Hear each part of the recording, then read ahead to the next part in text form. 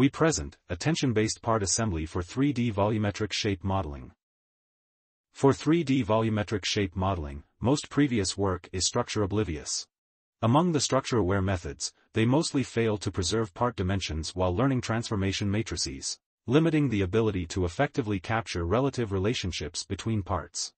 In this work, we propose a part-based attention network to learn semantic part relations for better 3D shape assembly. Our framework consists three steps, part generation, transformation matrices learning, and model fine-tuning. To learn better part relations, the part dimension is preserved throughout the training. Features in different network layers are used for multi-level feature fusion, and self-attention layers are used for feature learning across different parts. The channel-wise attention strategy may also be applied to preserve the feature channel dimension during the learning. Now we present our experimental results. For shape reconstruction, compared to the method that does not preserve the part dimension, our method produces more part-coherent reconstruction results on all categories, especially for small volume parts. By swapping shape parts in the latent space, our method can successfully resize and align it with other parts.